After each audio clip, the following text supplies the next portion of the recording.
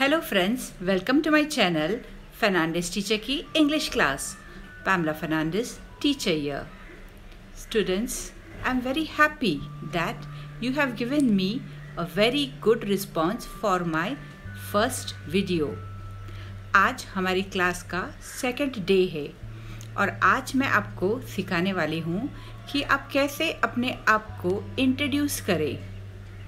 और आप तो जानते ही हैं कि मेरे सिखाने का तरीका एकदम सिस्टमैटिक और इजी होता है, ताकि आप, मैंने जो सिखाया है, वो इंग्लिश अपने प्रैक्टिकल लाइफ में बहुत इजीली यूज़ कर सकें।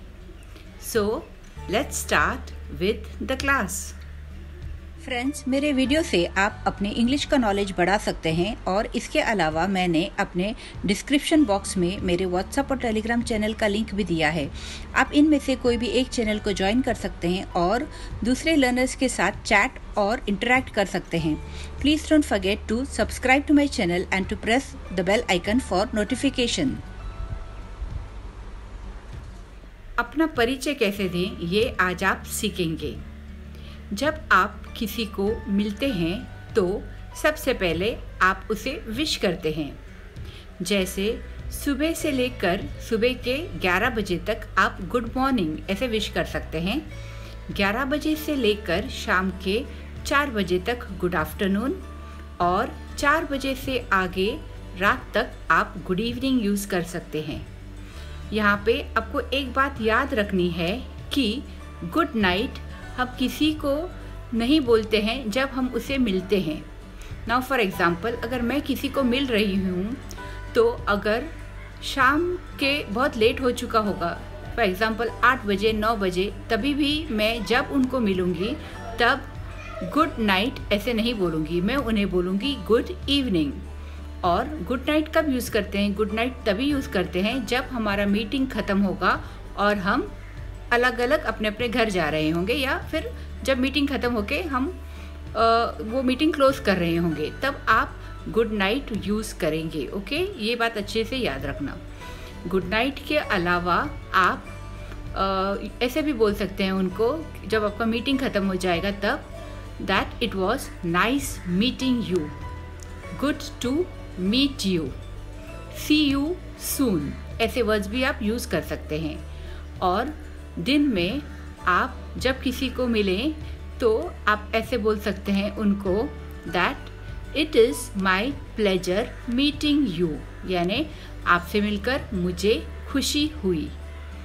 और अलग भी तरीके हैं जैसे आप उन्हें विश कर सकते हैं। जैसे फॉर एग्ज़ाम्पल आप किसी को मिलते ही बोल सकते हैं wow it is nice meeting you ये वर्ड ये सेंटेंस आप मिलते हैं तभी भी आप यूज़ कर सकते हैं, या फिर जब आपका मीटिंग ख़त्म होके आप भी चढ़ेंगे, तभी भी यूज़ कर सकते हैं ओके और हैव ए गुड डे यानी आपका दिन अच्छा हो। हैव ए नाइस डे ये सेंटेंसेस भी आप यूज़ कर सकते हैं ओके इसके बाद आप अपने आप के बारे में ज़्यादा जानकारी दे सकते हैं। फॉर एग्ज़ाम्पल आप अपना नाम बताएँगे। इस तरीके से। आई एम पैमला फर्नांडिस और फिर आप कहाँ रहते हैं, ये बता सकते हैं। आई एम फ्रॉम मुंबई या फिर I live in Mumbai okay फिर इसके बाद आप बताएँगे आपका प्रोफेशन फॉर एग्ज़ाम्पल आप बता सकते हैं I am a teacher by profession अगर आप कोई प्रोफेशन में हो तो वो प्रोफेशन का नाम बताइए। ओके? okay? और आप अगर कहीं पे जॉब करते हैं तो आप बोलेंगे I work for Godrej as a manager मतलब मैं गोदरेज कंपनी में मैनेजर के तरफ़ से मैनेजर के पोस्ट पे काम कर रहा हूँ। ओके? okay? और अगर आप एक स्टूडेंट है तो आप बोलेंगे I am a student I am in class tenth ऐसे आप अपने आप को इंट्रोड्यूस कर सकते हैं। और फिर अगर आपको ये बताना है कि आपका जन्म कहीं और हुआ है, लेकिन आप अभी कहीं और रह रहे हैं तो आप इसे ऐसे बता सकते हैं I am from Goa but now I have settled in Mumbai okay याद रखिए, आप बोलेंगे, आपके जगह का जो आप बॉर्न हो गए, उस जगह का नाम, और अभी आप जहाँ रह रहे हैं, वैसे, मैं तो सिर्फ़ ये एग्जांपल दे रही हूँ। तो आप बोलेंगे I am from Goa but now I have settled in Mumbai अब यहाँ पे देखो, आप अपना इंट्रोडक्शन आप कहाँ पे हो, कितना ज़रूरी है आपके बारे में बताना, उतना ही आप बता सकते हैं। फॉर एग्ज़ाम्पल अब कहीं कहीं इस बात को बताना ज़रूरी नहीं है कि आप मैरिड हैं अनमैरिड हैं, और कहीं कहीं इस बात को बताना ज़रूरी होता है। तो आप शादीशुदा हैं, या आप कैसे बोलेंगे I am married I am unmarried ये भी ठीक है। और इसके अलावा आप थोड़े अच्छे तरीके से ऐसे बोल सकते हैं that I am a bachelor मतलब जिन लड़कों की शादी नहीं हुई है, उन्हें इंग्लिश में बैचलर कहते हैं और जिन लड़कियों की शादी नहीं हुई है, उन्हें कहते हैं स्पिंस्टर ओके तो अगर एक लड़की है तो वो बोलेगी आई एम ए स्पिंस्टर याद रखिए लड़कियों को कभी बैचलर ये वर्ड यूज़ नहीं करते हैं ओके तो जिन्हें इंग्लिश अच्छे से नहीं आते, वो मेल्स को भी बैचलर बोलेंगे और फीमेल्स को भी बैचलर बोलेंगे, लेकिन ये गलत है टोटली गलत है। सुनने वाला झट से समझ जाएगा कि आपको इंग्लिश नहीं आ रही है तो इसके लिए याद रखिए। तो गर्ल्स को यूज़ करेंगे स्पिंस्टर और बॉयज़ को आप वर्ड यूज़ करेंगे बैचलर इसके अलावा आप अपने हॉबीज़ के बारे में भी बता सकते हैं लाइक माई हॉबीज़ आर अगर आप एक से ज़्यादा हॉबीज़ के बारे में बताएँगे तो आप बोलेंगे आर यानी दो। My hobbies are cooking and travelling और अगर आप एक ही हॉबी के बारे में बता रहे हैं तो आप इज़ यूज़ करेंगे। I S is my hobby is cooking okay तो ये याद रखना इज़ और आर ओके? इसके अलावा आप, आपके आगे के लाइफ के बारे में बोलना चाहते हैं तो आप बोल सकते हैं my ambition is to become a good businessman, a successful businessman मतलब एम्बिशन मतलब महत्वाकांक्षा ओके तो आप इसके बारे में भी बोल सकते हैं, आपके एम्बिशन के बारे में। इसके अलावा अगर आप बोलना चाहते हैं कि आपको, आपके कितने बच्चे हैं तो आप बोल सकते हैं I have two children okay या थ्री चिल्ड्रन जो है, आप ऐसे बोल सकते हैं, लेकिन ये याद रखना कि जहाँ पे ये सब आपके पर्सनल डिटेल्स बोलना ज़रूरी है वहीं पे आप पर्सनल डिटेल्स बोलेंगे और जहाँ पे जस्ट जनरल कॉन्वर्जेशन है वहाँ पे आप अपना ज़्यादा पर्सनल डिटेल्स नहीं बताएँगे जस्ट सिर्फ़ अपने आप के बारे में बता देंगे ओके तो इसके आगे हम सीखेंगे कि हम जब किसी को मिलते हैं तो क्या ऐसे सवाल हो सकते हैं जो वो हमें पूछे और हमें उसका सही आंसर देना भी आना चाहिए ओके सो so, अगर कोई आपको पूछना चाहता है कि आप कहाँ रहते हैं तो वो इजी वे में पूछ सकता है आपको where do you live where do you stay या फिर ऐसे भी पूछ सकता है वेयर डू यू रिसाइड तो आपको याद रखना है लिव स्टे रिसाइड ये तीनों चीज़ों का एक ही मतलब है कि आप कहाँ रहते हैं। तो आप आंसर करेंगे I live in Mumbai I live in Delhi जहाँ पे आप रहते हैं, वैसे आप बोल सकते हैं ओके इसके अलावा ज़्यादातर लोगों को ये वर्ड पता नहीं है जो मैं आपको अभी बताने वाली हूँ। Native place native place okay तो अगर आपको कोई पूछे where is your native place native place मतलब आपका गाँव, आपका घर, जहाँ पे आप पैदा हो गए हैं। उस जगह को बोलते हैं नेटिव प्लेस तो आप बताएँगे उसको, उनको आपके नेटिव प्लेस के बारे में। For example my native places UP my native places Goa जो भी है, आप उसके बारे में बता सकते हैं ओके तो अगले बार नेटिव प्लेस सुन के आप सोच में मत पड़िए, आप कॉन्फिडेंस से उनको आंसर कर दीजिए। फिर वो अगर पूछेंगे what is your profession profession मतलब आप क्या काम करते हैं? तो आप अपने प्रोफेशन के बारे में बताएँगे, जैसे मैंने आपको पहले ही सिखाया है। And what is your ambition ambition मतलब महत्वाकांक्षा। आप आगे चलकर क्या करना चाहते हैं? तो आप उसके बारे में बताएँगे। uh, अगर आप स्टूडेंट हैं तो आप बोल सकते हैं my ambition is to become an I officer या जो भी है ओके okay? आप अपने एम्बिशन के बारे में उनको बताएँगे। अब मैं आपको सिखाने वाली हूँ कुछ इंपॉर्टेंट वर्ड्स जो मैनर्स के तरीके से इंग्लिश में यूज़ होते हैं। जैसे कि थैंक यू हम थैंक यू कब यूज़ करते हैं, आपको तो पता ही होगा। जब हमको किसी को शुक्रिया करना होता है, तब हम यूज़ करते हैं थैंक यू और next important word is please आपने देखा होगा इंग्लिश लैंग्वेज में प्लीज़ एंड थैंक यू इसका ज़्यादातर इस्तेमाल करते हैं। हिंदी में हम इतना ज़्यादा किसी को शुक्रिया ज़्यादातर नहीं करते हैं बट इंग्लिश में ज़्यादा थैंक यू प्लीज़ ये वर्ड्स का यूजेज हमेशा होता है। अब और एक बात। अगर आप किसी के यहाँ पे गए और उन्होंने आपको कुछ ऑफ़र किया ओके नाउ फॉर एग्जांपल अगर मैं कहीं गई और उन्होंने मुझे पूछा would you like to have some tea यानी आप चाय पीना पसंद करेंगे क्या?